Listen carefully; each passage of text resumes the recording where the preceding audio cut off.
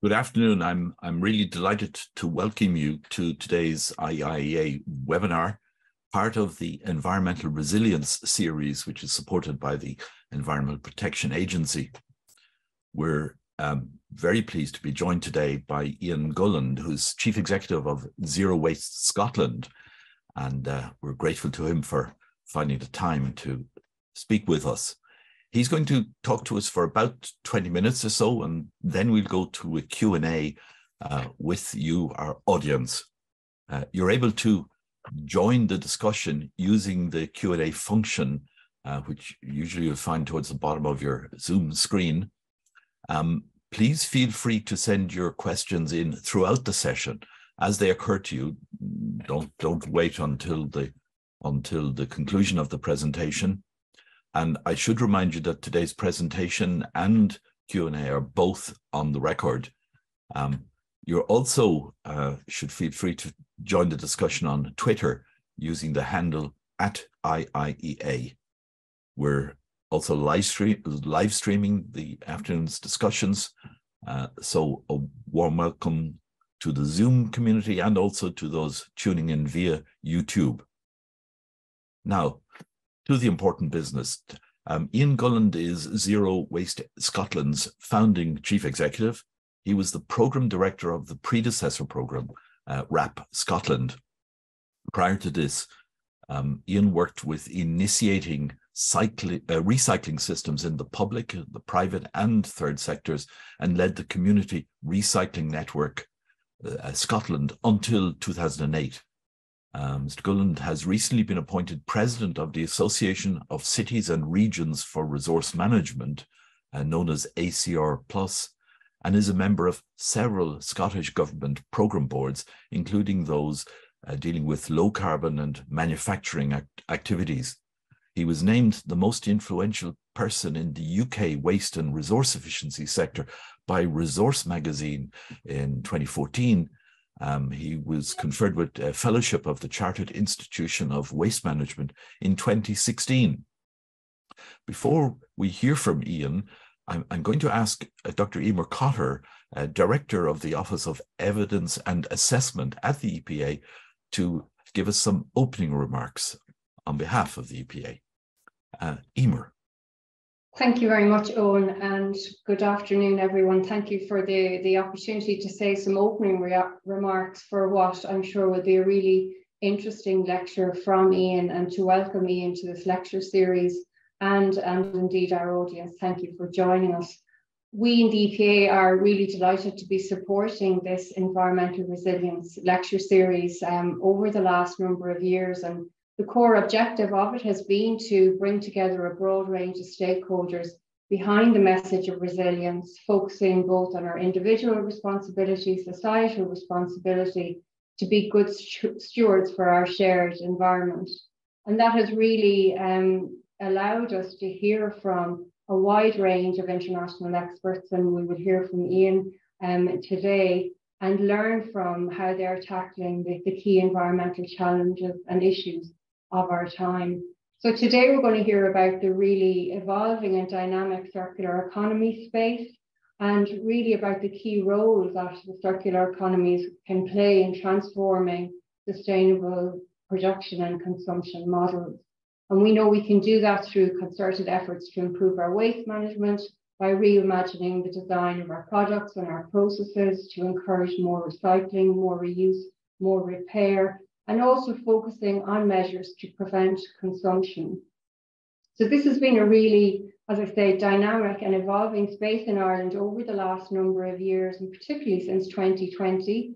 We've um, had publication of a number of key policy documents, whole of government circular economy strategy, the primary legislation, the Circular Economy Act. And with that, then in the EPA, we've had uh, we've established a new national circular economy program which now has a statutory footing. And that's really uh, allowed us in the EPA to focus our efforts even more on the circular economy and to support the transition to a circular economy um, across the wide range of our functions, so including our regulatory functions, and, and with that, I, I'm we're really focusing on the end of waste and the byproduct regulations that functions that we have there. In terms of our knowledge provider role, um, we produce national waste statistics, so giving that national picture on an annual basis of the waste we generate and how we manage different waste streams. And then also in terms of our advocacy roles, partnering, funding, working with others, which is so important in, in, in all environmental challenges and in particular in the circular economy side.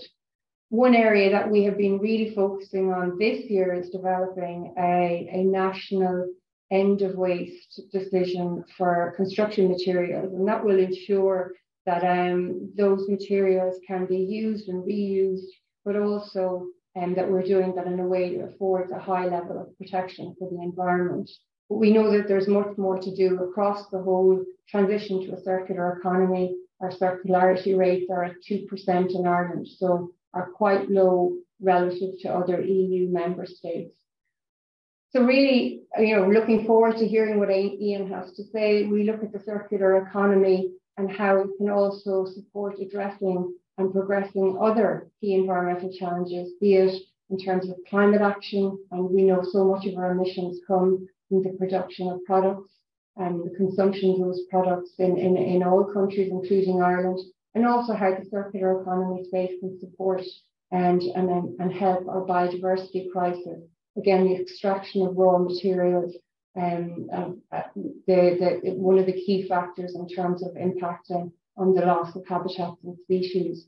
So again, there's this interconnected piece across um, environmental challenges that coming more to the fore um, all of the time. It's something that we're very conscious of in the EPA, um, making those interconnections, making those linkages, um, so that we can um, maximise what we do. So really, without further ado, I'd like to hand over um, to Iain and, and really looking forward to listening and learning um, from what's happening to what's happening in Scotland. So over to you, Iain. Okay, uh, thank you very much, uh, both of you, Emer and uh, Owen, for the introduction, and, and thank you for the opportunity to uh, come and speak to you today. I, am uh, delighted to have the opportunity to share certainly uh, some insights, I guess, from our work in Scotland. So I'll give you a quick overview of who we are in terms of Zero Waste Scotland, uh, just to make sure uh, everybody's aware of, of that, a bit about our work. But as I said, yeah, I think the key thing is just to share some of the insights from that work. Uh, but also I am keen to get to the kind of conversation bit of the, the, the webinar and get some questions uh, I'm always keen to make sure that what I say is relevant to the people who are listening. So the best way to do that usually is through answering questions. But I'm also keen to learn from others, and you've referenced your own, uh, you know, Irish strategy and and uh, Circular Economy Act. Uh, I'm also, you know, very keen to you know learn from others you know in terms of the journey you're on and and how that's how that's working i guess the the you know how it's bedding in and you know what you're learning already from it. So maybe there's a there's an opportunity for for you to share some of that. Uh, but also there is uh, as ever our journey the circular economy has been there's been a huge international dimension to in terms of discussion and learning from others. And I'll, I'll make a bit of reference to that later on as well. Uh, but the, the they need they need to continue that uh, you know at a very not just at a high strategic level but a very operational level as well to try and learn and understand just how the circular economy has been taken forward. But I'll start by just a little bit about Zero Waste Scotland. So we are Scotland's circular economy experts. We've uh, we are fully funded by the Scottish government to lead on a number of aspects of uh, the transition to a circular economy. We we do support the government itself in terms of policy uh, policy support. We we do uh, quite a bit of research on their behalf as well. Uh, in fact, our our research uh, several years ago really brought to prominence the circular economy, the opportunities around the circular economy, and led to the first circular economy strategy for Scotland in uh, 2016, where we basically identified, certainly at a macro level, there was significant uh, climate uh, change benefits from uh, not just thinking about recycling, but thinking about the whole design of uh, material systems, but also economic benefits. In fact, that was probably the real plus for us that we demonstrated in some of our key sectors like whiskey, beer, and fish, uh, as well as manufacturing, as well as offshore, the decommissioning of the offshore, there was significant economic gains uh, by thinking more uh, circular, both in terms of jobs, but actually economic uh, business business opportunities as well as supply chain uh, resilience. Even then, before we've obviously had things like COVID and uh, you know other geopolitical events since then that have really brought home you know the importance of having much more resilient supply chains. So that research led to the strategy in 2016, and on the back of that, ourselves uh, led uh, quite a comprehensive program uh, to support, you know, individual businesses. So we've got a business support program. We've worked with over 250 individual companies. We've invested, we've provided investment of about 14 million pounds into about 40 of those businesses uh, over the period. Uh, we've been developing uh, cities and regions programs. So again, in fact, that's probably we've probably had the biggest penetration is working through city partners like chambers of commerce, not just to talk about the circular economy and raise awareness of it, but to find bespoke opportunities that are very pertinent to, to those specific areas, which which are different depending on even the locations within Scotland. Uh, so we've been doing that. We've also I've been running procurement uh, training, so for public sector procurement professionals, uh, both in central government and in local government, and through some of the agencies on how do you procure in a much more circular fashion. We've been working with primarily the community sector, third uh, sector, on uh, sort of allowing them to raise their game in terms of reuse, repair, bringing a bit more of a spotlight onto that within the kind of high street, so to speak, uh, in terms of uh, the experience, the social, the retail experience through the Revolve program. Uh, but we've also been investing in with local authorities specifically on recycling as, as well and reuse provision uh, at the very local level. We worked with universities and colleges on, you know, shaping some specific courses, uh, whether that's on a practical level or through construction or through textiles, but also through business business uh, management skills uh, in terms of circular approaches. And we also worked with Strathclyde to set up the, at that time, the, I think it was the fourth uh, Institute for Remanufacturing in the World, the first in Europe, uh, the Scottish Remanufacturing Institute at Strathclyde University. And we've also been developing, as I said, some other bespoke initiatives to the landscape in Scotland.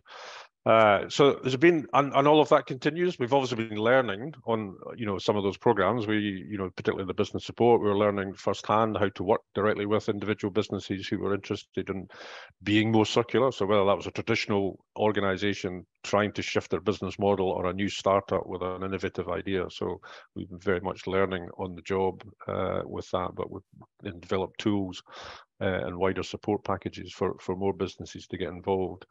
So I, I, I think the, the thing I say when people ask me a lot about that, the journey that we've been on, uh, it has been a journey. We've, as I said, we've learned. But one of the most significant things is the shift from people seeing the circular economy as something interesting to do with waste uh, to something that's much more hardwired into our economic story, or, or certainly where we would like to take our economic story in Scotland. And that's not just about individual businesses thinking about their model, but actually the wider economy, and particularly through that cities and regions approach, we've now beginning to see, you know, people thinking about the circular economy in terms of jobs, in terms of regeneration, in terms of the social aspects of that, in terms of the social fabric, you know, community well-being, uh, how the circular economy uh, principles can really really enhance uh, this situation for, for communities up and down Scotland and in the rural parts of Scotland as well, particularly because uh, the circular economy is a very much a distributive economy. It's not it's not about dragging all of the materials into the central belt of Scotland and then trying to do something interesting with them. It is about how do we tackle the issue of of materials uh, end of life and design the system at a much more local and regenerative level.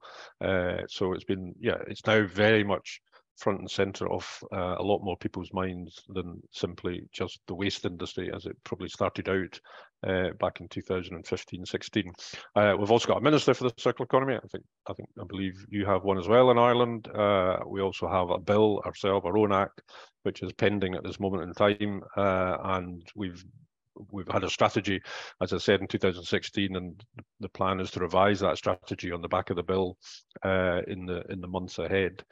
Uh, but as I think is already been highlighted that, you know, when we, we've done our own circularity gap reports, all of these things are positive, but the circularity gap report for Scotland isn't very good at all. It's less than 2% circularity. Uh, and it's one of the lowest, I think, uh, of all the kind of national reports that have been done, uh, and but so that in itself demonstrates that you know we have a lot more to do. Uh, but actually, when you look at the global picture in terms of circularity, it's come down from something I think at 9.5 percent to 8.3 uh, percent. I think it is now at a global level. So it's definitely going in the wrong way. But it it, it illustrates again that uh, you know, even though we're enhancing all our recycling, both, you know, in Scotland and I'm sure around the world, we're not actually keeping pace with the, the consumption of materials. Uh, and that's the elephant in the room. We really do need to start addressing our uh, consumption. So we know in Scotland that 80% of our carbon footprint comes from, you know, basically the, the use of materials, the production and use, and ultimately wasting of materials and products in our economy, half of those uh, materials and products come from out with Scotland. So uh, if we're really serious about ending our, you know, uh, our contribution to climate change, we're going to have to do something about that consumption issue, uh, and that's all of the impact that that has out with Scotland. So mentioned biodiversity loss already, you know, water stress, uh, but ultimately, the, the other third crisis that we sometimes overlook is, you know, basically how do we tackle the inequalities that we face, not just at home, uh, but around the world. Uh, and the circular economy is is a, you know, the fact that we don't have a circular economy, the fact that we have a linear economy is definitely contributing to all of those factors, not just climate change, biodiversity loss, but actually some of the social issues that we see around the world. Uh, and these are these are getting worse uh, you know, definitely in terms of climate change impacts, but also, you know, as we start to accelerate uh, the delivery of infrastructure, you know, needing to mine new materials, etc., we're beginning to see other impacts uh, around the world as well, which are again, for many of us, are out of sight, out of mind. So, circular economy is certainly, you know, uh, we think probably the most efficient, effective tool in the box to tackling a lot of those issues uh, and thinking differently about uh, certainly the leakage of materials from the system, but also how can we reduce the consumption by making more of the materials that we've already got in circulation, using these assets in a much more productive way again and again and again. Uh, but that doesn't happen by accident, that happens by design. So whether that's the individual products being designed differently, but actually designing the system.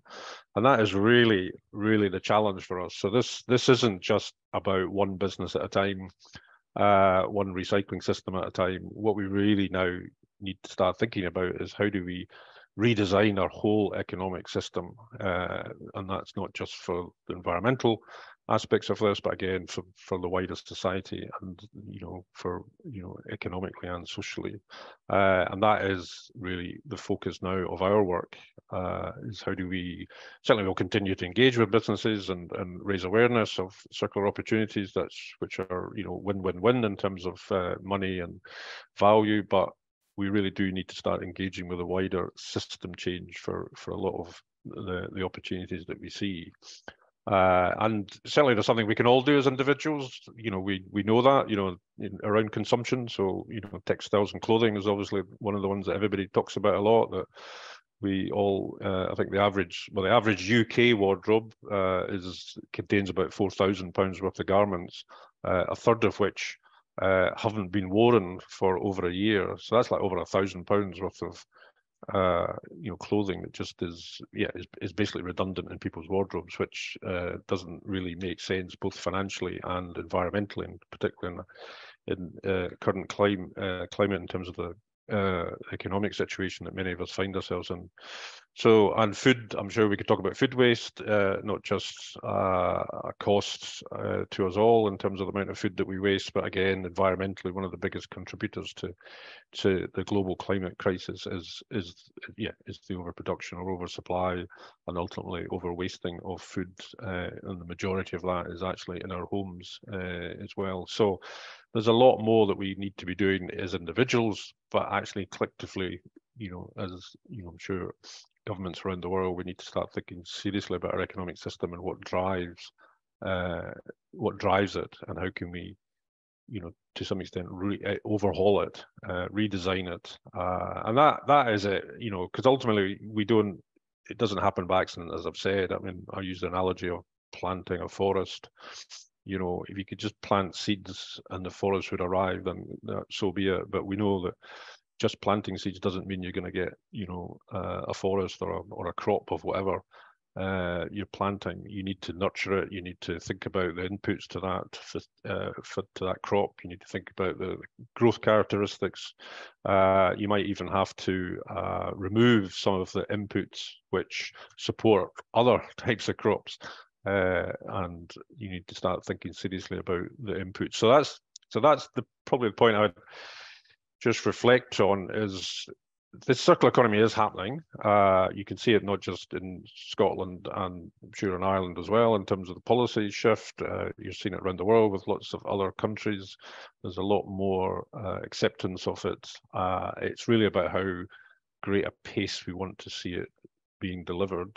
Uh, and for us, that is you know we we need to make some conscious decisions about the inputs to actually make create the right environment for the circular economy to happen. And one of those well there's four four things that we talk about in scotland that we really need to to start focusing on. Uh, the first one is governance uh, is understanding how do we govern. So it's all very well having a strategy and having a you know having a minister to some extent uh, but where does that fit, uh, particularly if we are talking about wider systemic change in terms of the economy? Does it? How does it fit? How is it being integrated into uh, the structures that oversee the wider economy? So where is the governance? It can't sit outside. This isn't a competing. The circular economy isn't a competing economy with the linear one. It has to be part of the overhaul and the re reshaping of the wider economy. So we need to start thinking about how do we shape that? So what metrics are we going to use? Uh, to demonstrate uh, performance over time. How are we going to track them? Who's going to be responsible for it? Uh, ultimately, we need to see the circular economy beyond just a set of new initiatives uh, at the end of pipe. We need to see it much more embedded into the, the, structural changes that we're all trying to do at a local level, at a national level, but also at an international level. And that needs that collaboration, as I've hinted at before, uh, in terms of the international dimension to, to all our work. The other thing that we do need, the second thing we talk about is infrastructure, and that's um, it's an obvious thing to say, uh, but it's something that's overlooked. We we talk a lot about individual businesses and individual companies doing well uh, in the circular economy, but we need to start creating different types of infrastructure. So obvious things are how do you create a reuse and repair network? Uh, you know, one of the challenges that a lot of people find around the circular economy is in terms of uh, individual citizens is accessing the circular economy. So accessing re reuse and repair uh, services, for instance, both at urban level, but also at a rural level. How do we create the right systems or infrastructure to support things like reuse and repair? How do we create the right business ecosystem to support those individual companies who are starting out or innovating uh, and seeking new markets?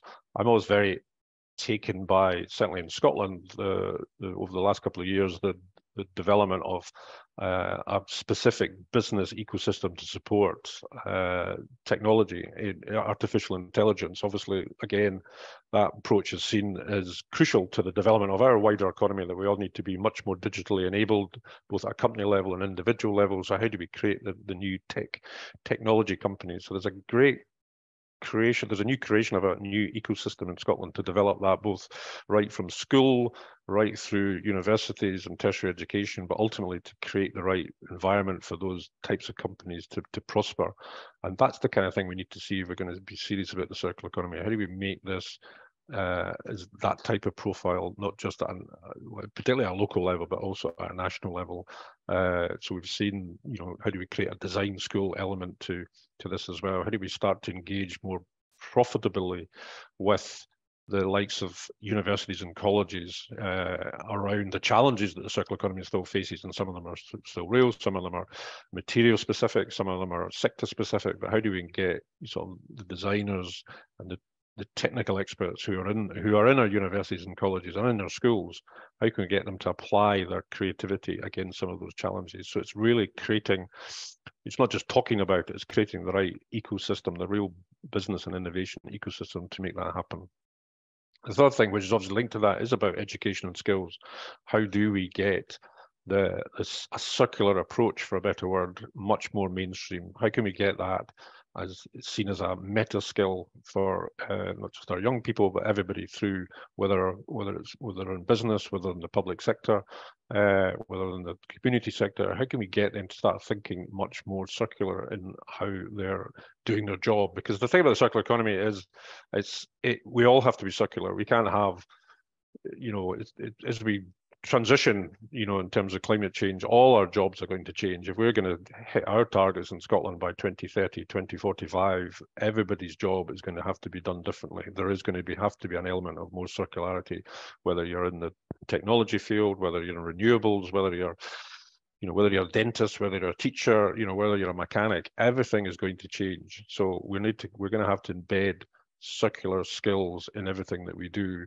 Uh, and again, you know, we have this uh, in Scotland. We have a, a real push for entrepreneurship uh, in a lot of our colleges and universities now, and even in our schools. So we're teaching entrepreneurship again as a meta skill. And that's not to say we want everybody to set up their own business and make lots of money. It's actually seen as a skill that we need to have about individuals again, whether you've got a job in public sector or community sector or otherwise, no matter what business, you need to have a, a, degree of entrepreneurship. So it's seen as a meta skill that we need to have prevalent in our society. So I, I think very similar to that, we need to have that kind of circular thinking as a kind of uh, much more prevalent in our society. So people will embrace the sort of step change that we're needing, uh, we're, going to see uh, across uh, our supply chains and the, and the activities and the businesses world, uh, sector by sector over over the over the next five to ten years.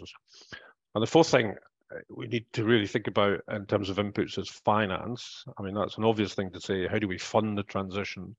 Uh, and this is about, again, thinking differently, thinking a bit out of the box around some of the products and the way that we apply finance. So we've we've learned quite a lot, even supporting businesses uh, in terms of finance. A lot of the more traditional ways of providing money, even European funding, where you find a business and you you fund it, uh, has hasn't allowed the, the, kind of supply chain activity that we've been trying trying to kind of uh, enhance in Scotland. So that whole sort of system change.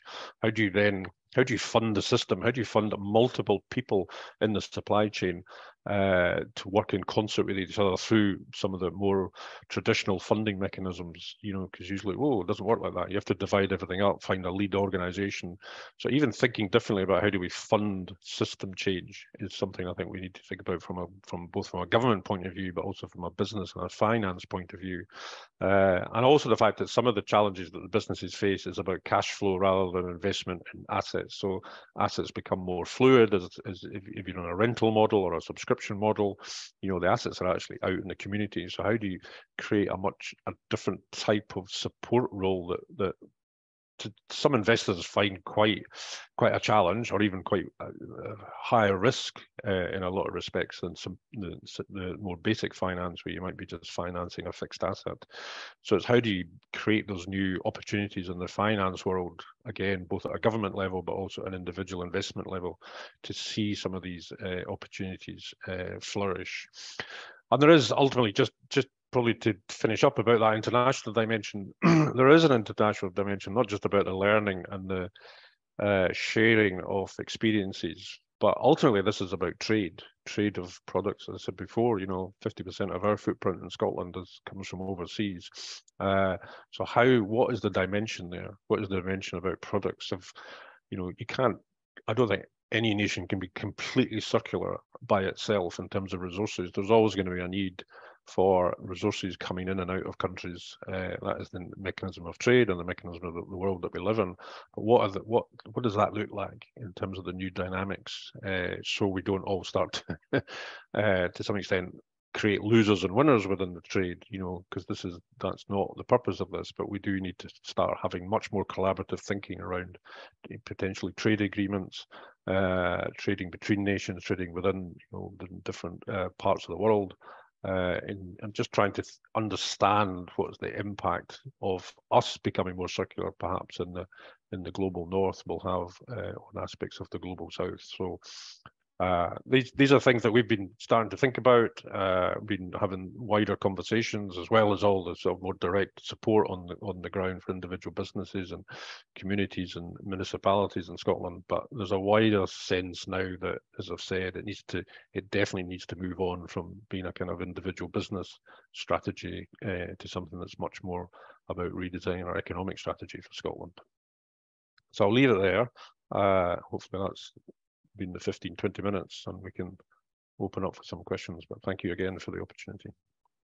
Iain, it has indeed. Th thank you very much indeed, uh, right on time. Um, uh, and I, I, think it's, uh, I mean, certainly the the radical nature of the kind of changes that you're talking about, you you haven't um, uh, understated them. Um, in my in my own uh, area, my own industry, um, I've been really interested to see that uh, recently an office building in Oslo has been uh, completed. Not a not a huge office building, but um, they have uh, identified that it was constructed of about 80% of recycled materials, a new a new office buildings. So um, there's a huge amount that can be done. I remember a colleague of mine uh, not working in Ireland actually, but um, he came up with a a means of reducing waste on the, the construction site, which he was responsible, um, by outlawing uh, waste uh, bins, wa- uh, uh, skips. No skips were permitted on the site. And he said it had huge impact because each trade then started to look differently at um, if the carpenter is cutting a piece of timber to length, he or she started to work out, well, what were the uh, it produced a lot more length, uh, more waste, uh, a lot less waste if people were responsible for uh, getting uh, disposing of their own their own waste rather than putting it into a, nearby skip. But um, we clearly have things in common because I think uh, uh, Emer Cotter at the beginning said that uh, our performance relative to our fellow member states in the EU was very poor. I think at two percent we were sec- second worst. Hmm. Um, you mentioned a similar figure for Scotland. Um, one obvious question at the beginning is, how do you measure? What does the measurement of circularity mean? How do you how do you measure circularity?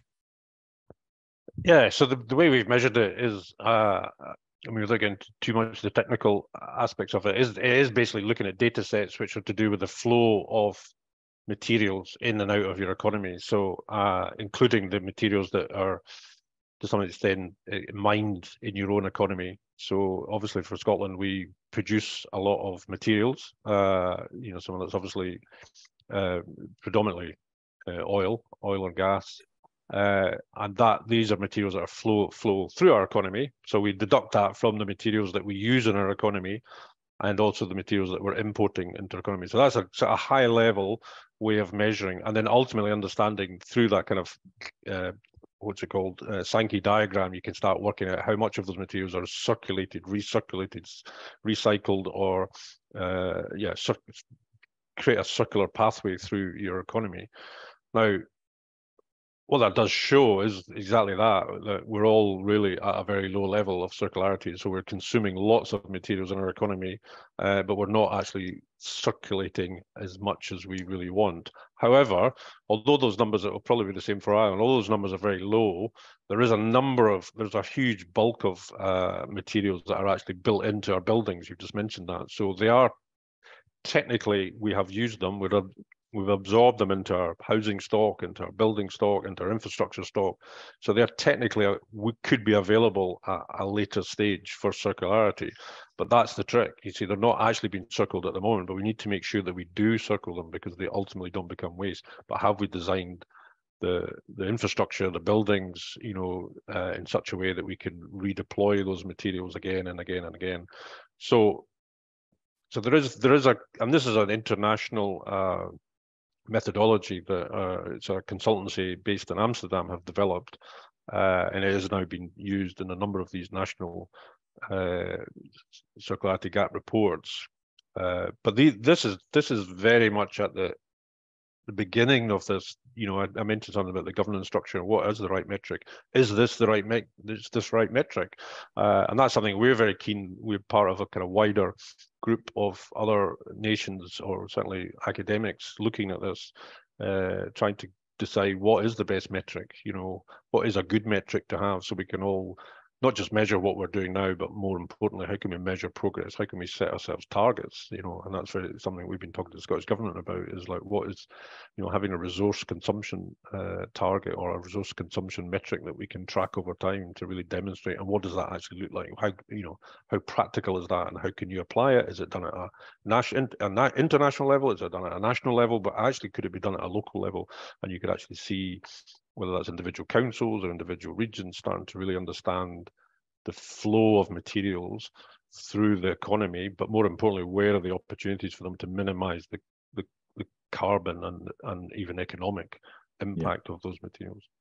It, it strikes me that there's a considerable uh, complementarity between the move in the energy sector in the building, for instance, to put much more emphasis now on embodied energy which of course drives you towards emphasizing the reuse of buildings rather than uh, uh, demolition and and uh, new build uh, uh, and so on, because uh, embodied energy or indeed embodied carbon accounting is becoming a central thing and features in the the the draft work being done in the Parliament in the European Parliament on on um, the energy performance directive.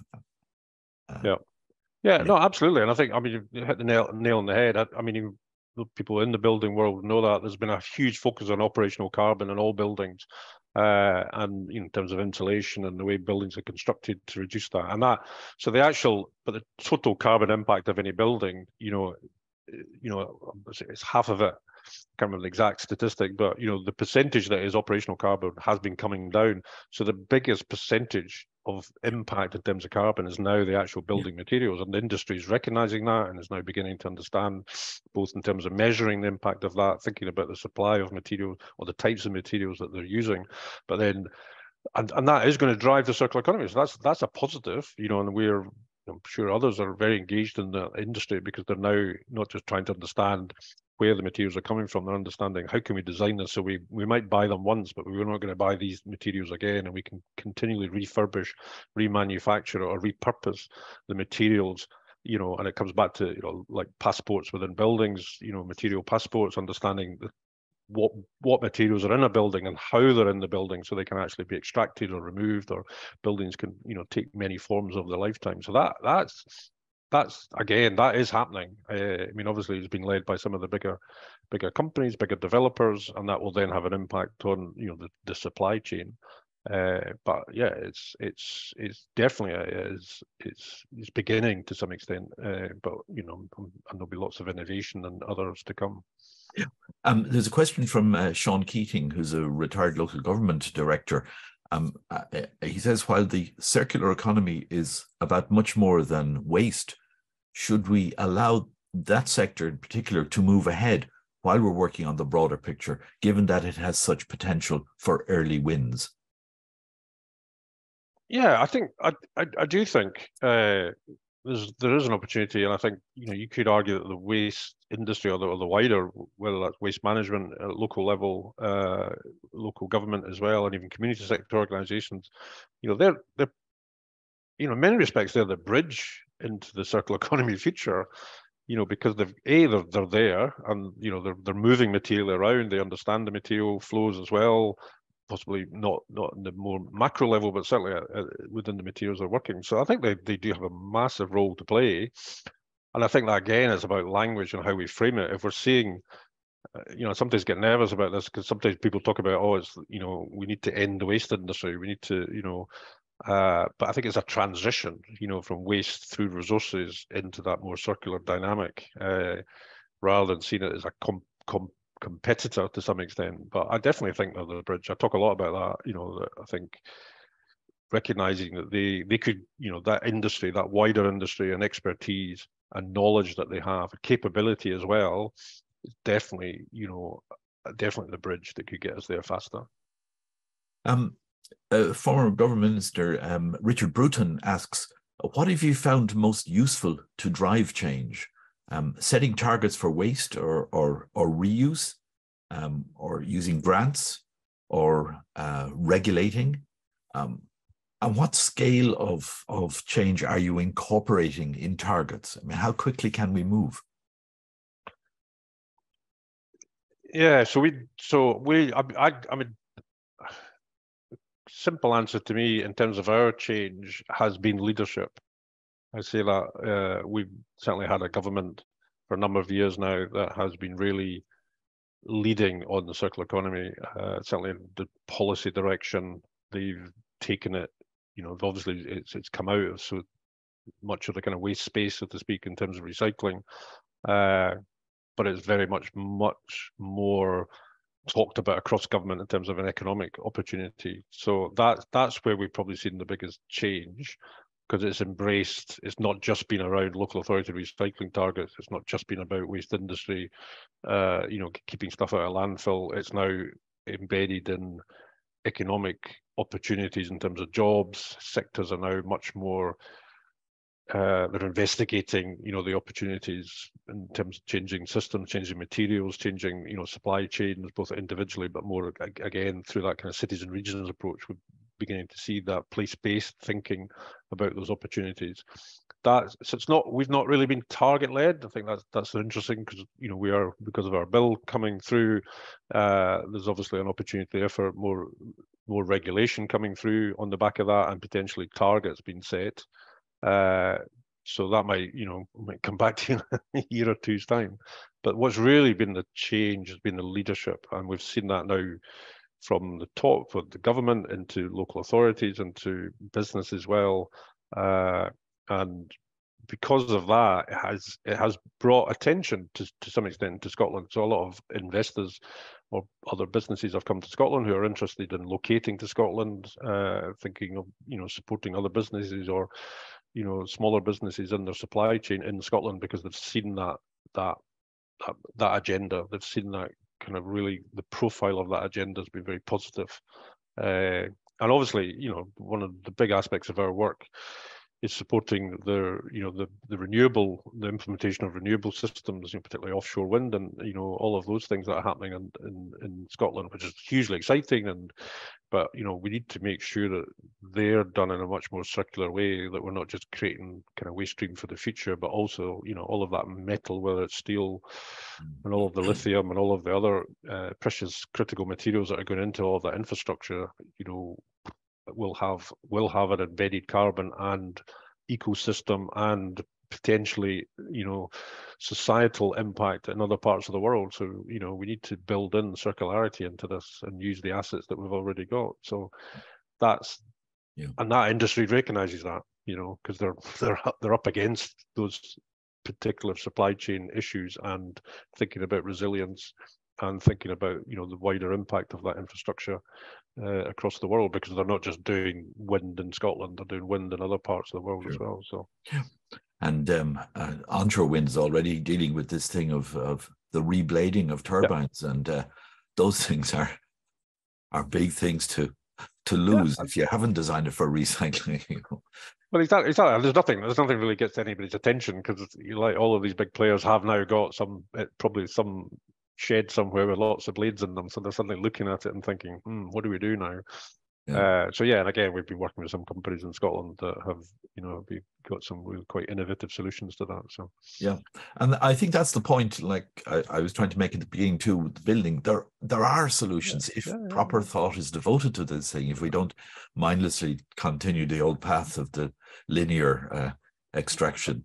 Yeah, and I think that, yeah, and that was the point I was making about. But we need to design that, or it's a school for design, or a system, an ecosystem that really does that. So we're we're highlighting what those challenges are, and we're bringing the kind of clever people, the, the innovators, the entrepreneurs, you know, whether that's academics or otherwise, researchers or or people with those technical expertise into that, you know, because it is happening. I absolutely get that. You know, I mean, we've all got great stories, and you know, I know there's lots of good good examples in Ireland as well as Scotland, but we're really going to do this at pace with yeah. With you know with the right structures in mind we need we need to invest in those interfaces we need to invest in the kind of clusters and the you know, the tech scalar hubs or whatever you want to call them, equivalent to really drive this and get people onto this, get people engaged and you know, not just the opportunities, but even some of the challenges so we can really make them make the shift. That that's what we need. That's what we we're probably not seeing yet that at that level and that scale of, of investment.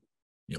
Uh, in your remarks, you, you referred to uh, uh, another uh, area of, of industry, another sector, and there's a question from uh, Keelan O'Sullivan, who's a researcher at the IIEA, um, and that's about uh, fashion and clothing. Clothing. You referred to clothing, and she notes how fast fashion is an incredibly harmful industry, a, a huge environmental footprint, both for its production and for its disposal.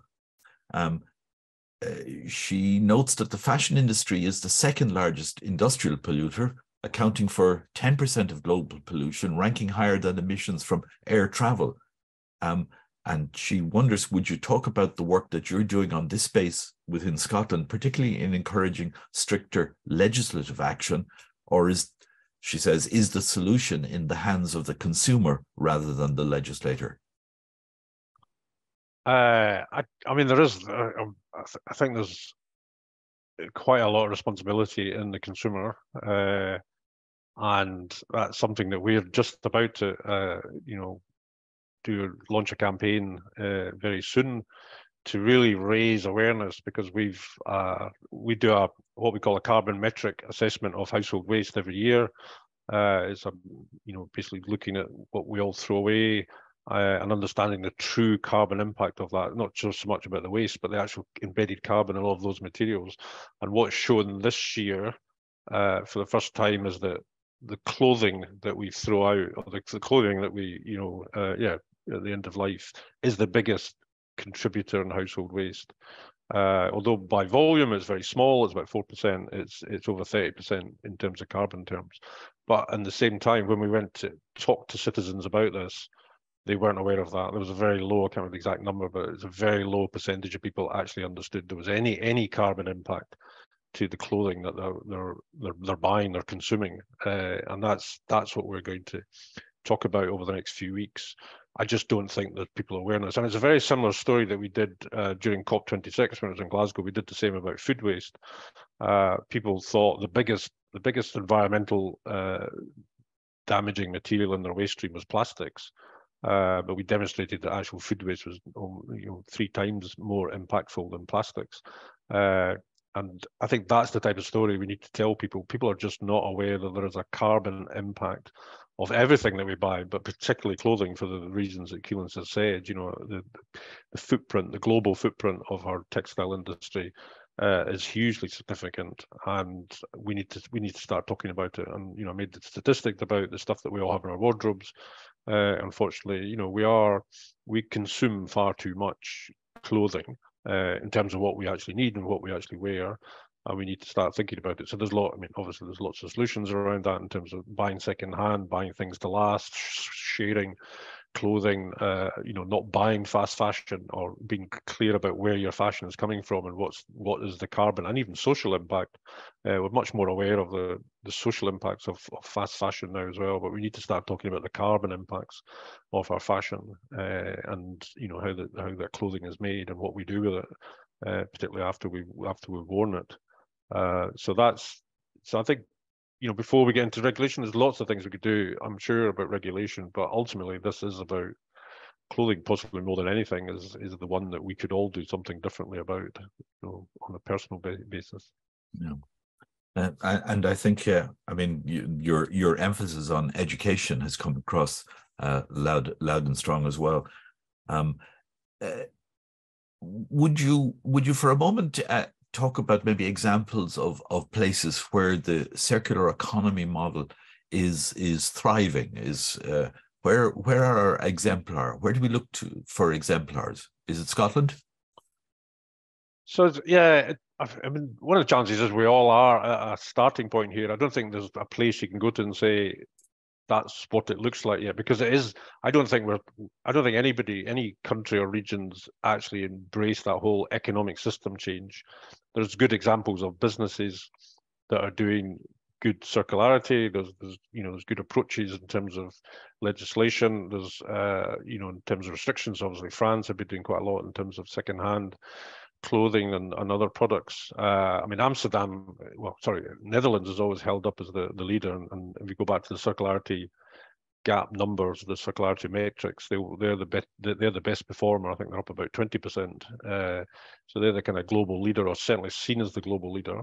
Uh, but then when you look, you know, when you go and look at what's happening in, you know, you know, parts parts of the, the, the southern hemisphere, you know, particularly in, in Africa and stuff like that, there's you would argue that a lot of what they're doing is the circular economy. So there, although there are significant waste issues in those uh, countries, and I, I, accept that, you know, and there's, there's obviously a lot of programs to support, you know, particularly around plastics and stuff like that. But the, the reutilization of equipment and repair and you know you know even organic treatment you know much more awareness of the use of organics and stuff like that in a, in a much more circular way particularly at a local level i mean so that it's, it's, it's quite interesting you know when people say that you know people always want to say is there a country in europe we should all go and visit it but actually you know sometimes i say well actually there's probably parts of africa mm. uh, that we should all go and visit because you know there's a much more for, for obvious reasons there's a much more focus on the retention of resources or value of resources and products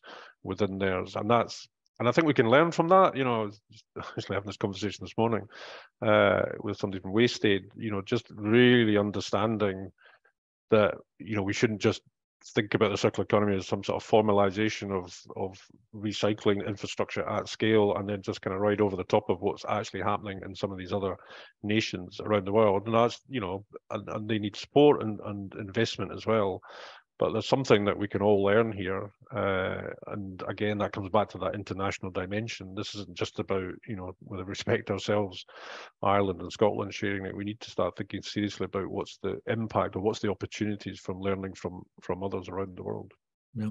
Well, that leads uh, naturally on. Uh, you you did emphasize the education and skills. Uh, what kind of skills are are are needed to to move this move, to move this forward, and also what kind of jobs um, are likely to be created as as we move uh, as we make this transition towards a, a, circular economy.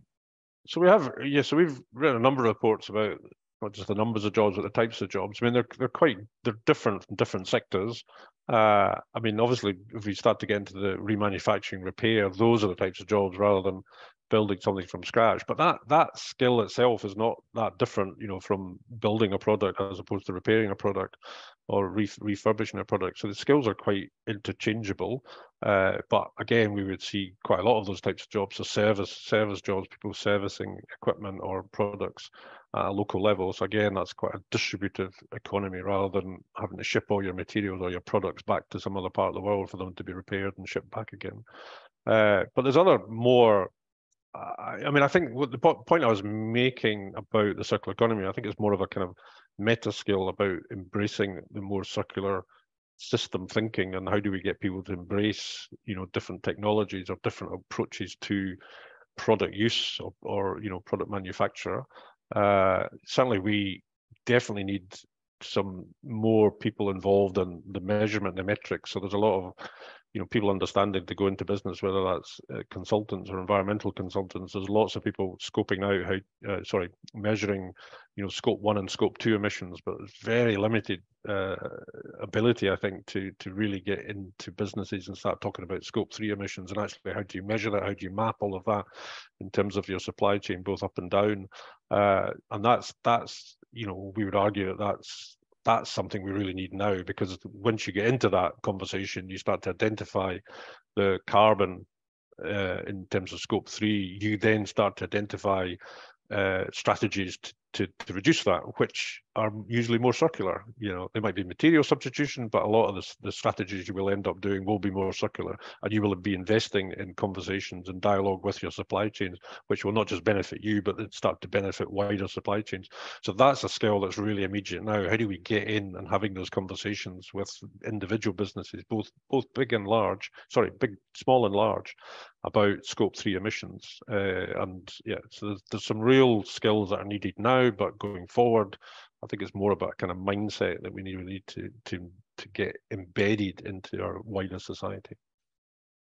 Um, there's uh, maybe a complementary uh, perspective, and uh, that's a, a, question someone else uh, constructed. It's um, is it possible for us to uh, arrange for those who contribute most to the waste, waste creation to be part of the solution in a circular economy? Um, you know, is, is, there a way that policymakers can work with uh, such corporations in, in a meaningful way? Yeah, I, I mean, I'm trying to think what the intention is behind that. It's so yeah, yes. I, I mean, I, I genuinely think businesses. I mean, I, I know there's there's always the stuff, the media angle for some of this, but I generally think all the businesses we work with, you know, the ones that invite us in and the ones that we invite ourselves into are genuinely on this journey. They're trying to understand how they can reduce not just their waste, but think think through the supply, think through their products. There, there is pressure coming. You know, some of that is citizen led. You know, in terms of some of it's regu- obviously regulation or just things that are coming down the down the down the pipe. But a lot of it is, you know, consumer led consumers asking questions about the transparency of, of materials that have been used or you know what's happening to to the product after after life uh, but also supply chain. Obviously you know scotland you know predominant economy is predominantly you know smes who are probably part of much more larger supply chains. So there is a bit more pressure coming down from the bigger suppliers who are asking those types of questions. So there is there is genuine dialogue. Again i think it's i think what's holding a lot of people back is you know, I hate to say it, the skills available to actually to measure it, to to monitor it, and then ultimately to make the you know to to, to take forward the initiatives you know, and and a bit of capacity, obviously. I mean, there's lots of other things going on over the last couple of years for businesses, you know, whether you're a large business or a small business, you know, in terms of the pandemic and, you know, obviously again the geopolitics. So there's lots of things, you know, but at the same time, there's there is genuine. I think there's there's a real, uh, you know, real appetite out there still for this. Uh, but it's how do we match that demand, so to speak? Mm. But I also think government always has a role to, to facilitate these conversations, you know, is to provide, and again, it comes back to my thing about ecosystem. If you, the government, government's role for me is to create the right ecosystem, to right, to create the right support infrastructure, accessibility of the of the knowledge or information. And, and, you know, I guess that's what we do. We provide that interface on behalf of the Scottish Government with businesses in the space, and we work alongside a lot of the other business support agencies to provide this, this, the kind of more circular dynamic to that uh, awareness and support. So it's how do you create that that infrastructure, as I said, to actually make it happen. That's that's what we need. The government should really focus on, not not perhaps the individual conversations. It's like create the right infrastructure for businesses to access the information and the knowledge that they need to make the decisions. That's yeah. you know, and ultimately the funding, uh, whether that's public funding or private funding, is to create the right interface there as well. Because that's another thing we get asked a lot about, you know, from investors. How do we how can we get into those type of the right conversations at the right time with individual businesses or supply chains to really see how their investment could be shaped? Mm. so it's that interface that's required. Yeah. Um you know in ireland we we do have uh, as i think you noted uh, we do have a minister for the circular economy um Ossian Smyth uh, td uh, we now as uh, uh um uh, as um emer noted i think it was um uh, from 2021, we have the National Circular Economy Strategy. Um, I, I, I gathered, uh, I, I think that Dublin has been selected as the host city for the 2023 Circular Economy Hotspot. Yes. And uh, you wonder what kind of recommendations, I mean, we're, we're drawing to a conclusion now, but um, are there recommendations you'd have for the citizens of Ireland to contribute uh, meaningfully to because I, I I think you know you talked about structures you talked about a, a, lot of things are there. Okay there's gaps in skills but a lot of it comes down at the end to to the consumer and to what he or she will will do with the thing. Yes so, so briefly yeah so I am actually looking forward to coming to Dublin. I am coming I have been invited uh, later this year so I'm looking forward to that. We had a similar hotspot a couple of years ago, uh, pre-COVID in Glasgow, uh, and they're really successful, and they you know create a lot of uh, excitement uh, and dialogue and discussion. So absolutely, and that's the thing. I mean, I, I probably didn't labour that point too much, but you know, the thing about the circular economy for me is a people thing. Uh, I think all of the businesses we work with, it's it's about interconnectivity through supply chains across sectors. It is about how people operate and connect with each other and engage. Uh, and that goes right into the community. And that's been a huge aspect, I think, of our work in Scotland. That it's not just about businesses. We're working with communities, uh, partners on the ground and at national level. Uh, we support, as I said, a number of third sector organisations, uh, local level reuse and repair, and other types of opportunities. You know, sharing libraries, tool libraries, all of those things are as much part of the circular economy as the kind of big you know system thinking around material flows and you know even some of that offshore wind stuff uh, it is about an integration of all of that. And that's i keep saying that the, the thing about the circular economy is a distributive economy. It's not a you know big thing in the middle of Scotland. It is about how do we distribute, how do we use assets and resources in a much more distributed way uh, for value at a local level. That's that's the essence of it. It's a regenerative economy as well, uh, and we shouldn't lose sight of that. So sometimes you know a lot of the, the language, a lot of the rhetoric is all about the big scale, all of this. It's you know it's you know an economy, and I you know I, I use that myself sometimes, but we should not you know lose the fact that it is actually about people, individuals, people working with it. So engaging with people about it. So circular economy might not be the language you use in the pub.